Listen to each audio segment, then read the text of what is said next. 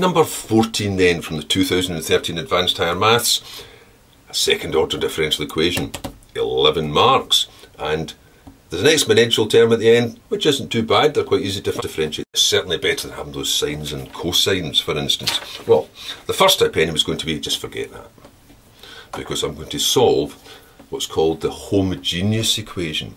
The solution to that is the complementary function. That'll be the, a function of x, which if you feed it through this, will give you an answer of zero, or the actual answer you require. And to find that complementary function, I'll form this auxiliary equation. Now, without going into the ins and outs of why this is formed and the types of solutions it produces, basically your auxiliary equation is made up from the coefficients of the three terms formed into a quadratic. So there's 1, so it's m squared, whoops, minus 6m plus 9 should equal 0. What's really happening, of course, is the type of function that would solve this equal to 0 would have to be e to the x, or rather e to the mx. Since it's only an exponential that can keep repeating itself and therefore be cancelled out down to 0. And of course contained within e to the x are sines x and cosines x because they can cancel each other out in their combinations. So this will tell me the powers then of this.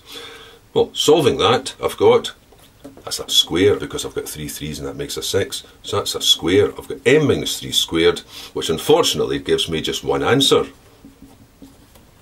Now, a second order differential equation requires two solutions because two constants would pop out from the solution to that. And this is only going to give me one. This is giving me one just now. This is saying that if I put e to the 3x through it, it'll work.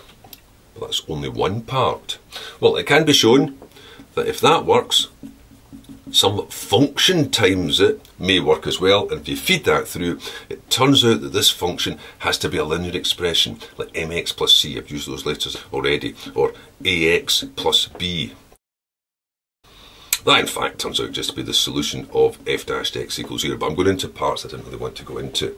Basically here, if I've only got the one solution, and I know that I require two of them, I can form the two of them by taking, for my complementary function, by taking, it's not that, y equals, I'll just put e to the 3x here, plus x lots of e to the 3x, and any linear combination of them. That would form the complementary function. You may well just do that automatically going from there to there. Another thing you could do is you could maybe just factorise that out and have a plus bx times e to the 3x, which looks more like the origin of this extra function. Right, I've put that up here, out of the way. Now, remember, that was the homogeneous equation. I was actually wanting to solve it equal to 4e to the 3x. And straight away, there's a bit of a clash. Because according to this, if I put in e to the 3x, the whole thing will come to 0. So that can't work. If I put in x times e to the 3x, the whole thing will come to 0 because those were solutions of the homogeneous equation, the equation equal to 0. So if I'm looking for a particular integral to this,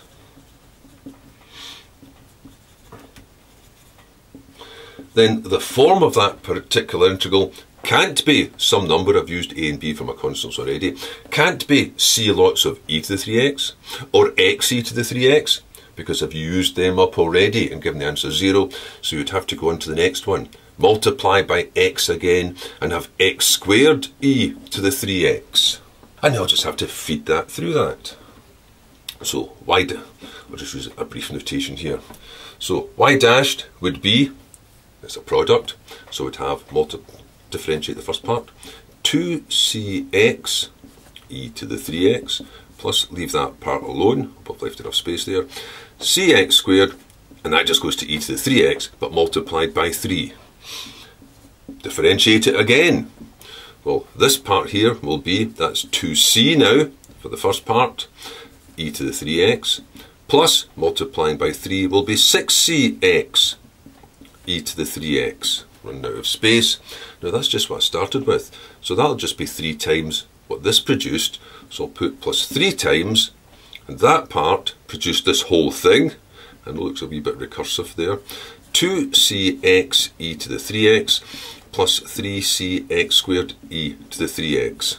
Or you could just differentiate both those terms, they're both going to split into two parts.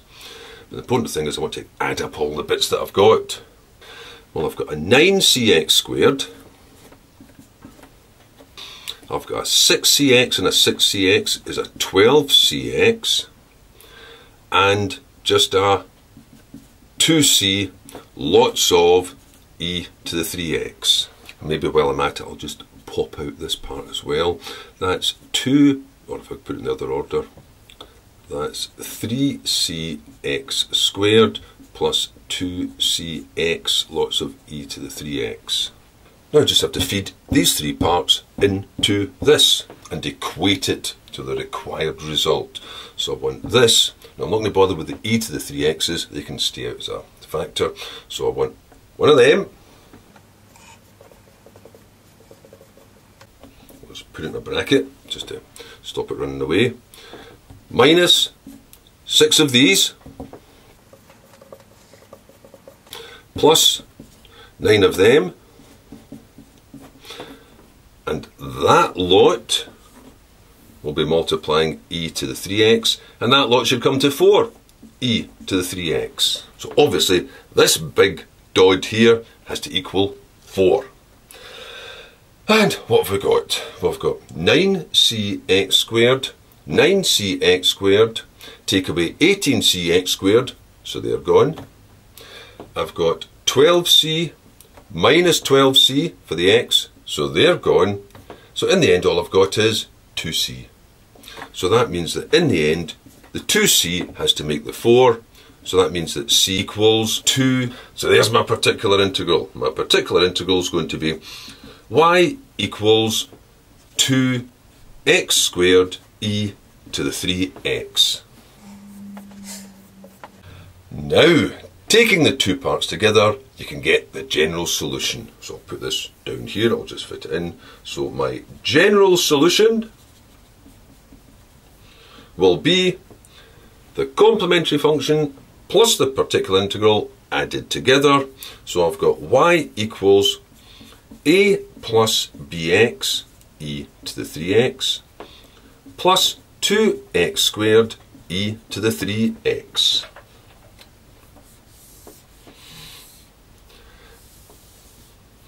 That's what that's all reduced down to. Quite nice and neat. And as if that wasn't enough to do, you're going to have to continue your merry little dance before you're paid your 11 marks. That was just the general solution. You have to find the particular solution that satisfies these initial conditions. You'll have to find what A and B are for this. Well, when x is 0, at least that's not too bad, I suppose x, uh, y is 1. y is 1 when x is 0. So I'll still get 8, that term will disappear, that term will disappear, that will go to 0, so that's e to the 0, and e to the 0 is just 1, so a is 1. So that's not so bad. a is 1. So I can immediately feed that in. So I've got y equals 1 plus bx plus 2x squared e to the 3x. There's no point letting a run around and annoy you when you can pin it down. Now the next part I'll need to differentiate that. Right, well, well, how many times have we done that so far? So differentiating this, I've got a product. So the first part of the product would be, I've got b plus 4x. Leave that, e to the 3x, plus leave the first one alone, 1 plus bx plus 2x squared. Now differentiate that, that'll be e to the 3x, multiply the whole thing by 3, there we go, just enough room. Now, put that in. What have we got? When x is 0, the derivative should be negative 1. When x is 0, what am I left with? I've still got the b, that goes. That goes e to the 0. I've still got the 3, I've still got the 1. That goes to 0, that goes to 0, and that goes to 0. So I'm left with, that's a 1 times a b, which is a b. That's a 3 times a 1 times a 1, which is a 3.